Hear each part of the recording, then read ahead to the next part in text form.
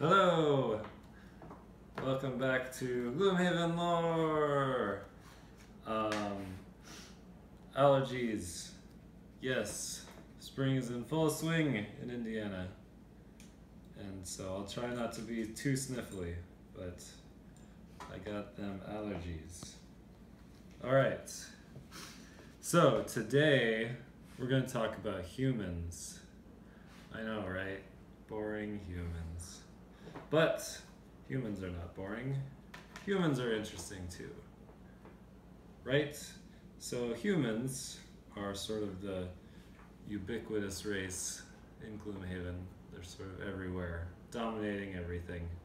But that wasn't always the case, right? So like hundreds and hundreds of years in the past, they were sort of huddling in caves, um, really sort of unknown in the world.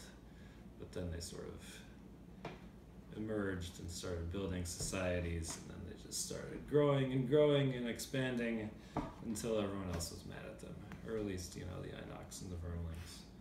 But they made peace eventually, kind of, with all those races. And now, here we are, in a world dominated by humans. And humans are varied and interesting, right? So you've got your bandits and your cultists and your normal people, your bakers, your candlestick makers, I don't know. Uh, and you've also got your scoundrel, right? Who is a human, but she's like, you know, kind of like a bandit, right? She just runs around stealing people's money and stabbing them in the back because who needs honor when you're a scoundrel? It's all about just doing it the quick and efficient way. Why kill them when they're looking at you and you can stab them in the back? So, yeah, I don't know. Is there anything else to say about humans? I mean, you know what they look like. They're human. I mean, they look like me, right? So, okay, that was dumb. All right. so, we could talk about the scoundrel. The scoundrel is great. The Scoundrel is super great. Um, her one drawback is that she only has nine cards to start with, which is more than the Spellweaver, but the Spellweaver gets all her cards back once. The Scoundrel has to make it through the entire dungeon with just nine cards, which means she has to be very careful about the cards that she uses for her X powers. Because if she uses those too early, well, then she can get exhausted really early. Of course, that's not always bad. I mean, if you're, you know, if you're making that difference in the battle, it still might be important to throw away a bunch of X cards to do like a huge amount of damage on a boss or something. Um, but yeah, you just have to be really careful and, and be sure to, to only use that X card when you, you know it's going to make a big difference. So her sort of standard attacks are uh, single out and flanking strike, right? Which are an attack three, but then you get bonus damage when adjacent or when your target is adjacent to your other allies, right? So, as it says, it's sort of like a flanking attack. Um, right, so there's no like basic rules for flanking in the game, um, like you might find in some other tactical games, but this is sort of the uh, way that that's implemented is that the scoundrel specifically can do stuff, cool stuff like that. Uh, single out also has like a really cool power on the bottom. It's one of her most powerful abilities where she can, on her next four attacks, also do bonus damage on targets that are not adjacent to any of their allies. Um, and then you sort of get the combination of that with backstab, which is an X card, which is a lot like sort of the combination of those two, right? So it's a single out top and bottom where you get bonuses for them not being adjacent to your allies and also not being adjacent, or they are adjacent to your allies and not adjacent to their allies. Um, so, you know, one thing you can do to just really pump out the serious damage, right, is then to also use Smoke Bomb, which is a one time thing where it can double your attack when you're invisible. Right, so for instance, you could Uh, use the bottom of a single out to get you plus two on, on your damage. And then use a smoke bomb. And then backstab somebody.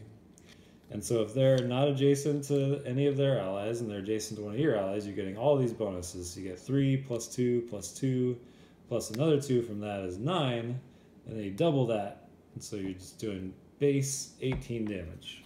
You pull like a times two modifier, that's like 36 damage. That'll like kill boss in a single hit.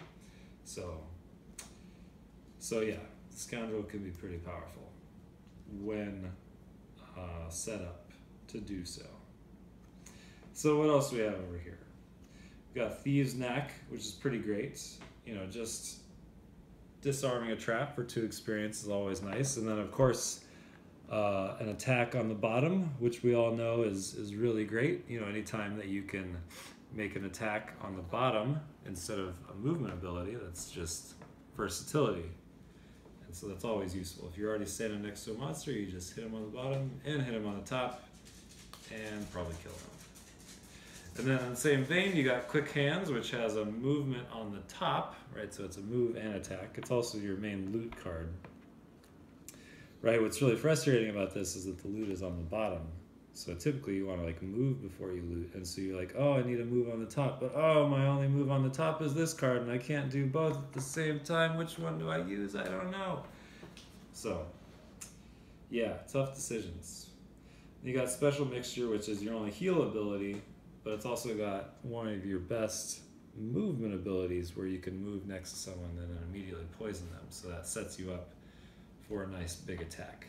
Right? If you had poisoned that person before you backstab them, then that's another plus one. So that's 10 times 2 is 20 damage.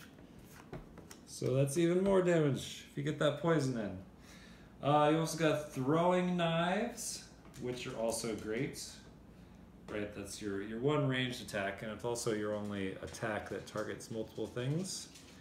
Um, it's usually pretty good in combination with single out. Um, so if you can throw your knives at someone who's by themselves, you can get bonus damage from that. And then uh, we can talk about a few of the X cards. Uh, so Trickster's Reversal is situational, but it can be super powerful where you get attack two and then uh, you basically do twice as much damage as whatever their shield value is. So like on a really strong, heavily shielded enemy, um, you can basically just take them out in a single hit. And that could be really helpful when fighting like flame demons or living spirits who are just really a pain.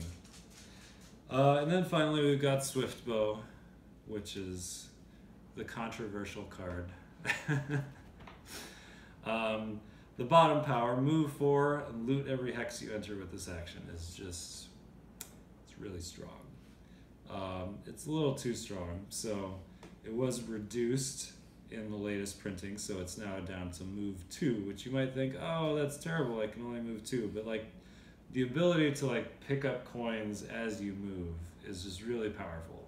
So on its own, it's like not that great, but just given the fact that it has an extra uh, part to it, um, it's a really good candidate for uh, doing things like you know enhancing it. Like pay thirty gold and you could turn into a move three, which then becomes like really pretty good.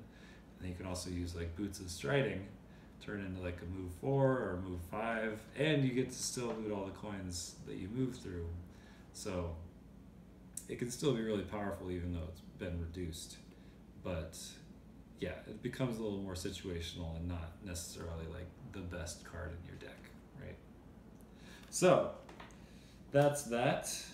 Um, hope you enjoyed learning more about the scoundrel. She's pretty cool. Um, yeah, you just gotta be careful about not playing those X cards too too quickly and just run around and do a bunch of jam damage and try not to get killed because you're always in the middle of battle so and you're probably going first so monsters like to attack you so you got to be careful about that all right. Well that's all i have to say so i'll see you next time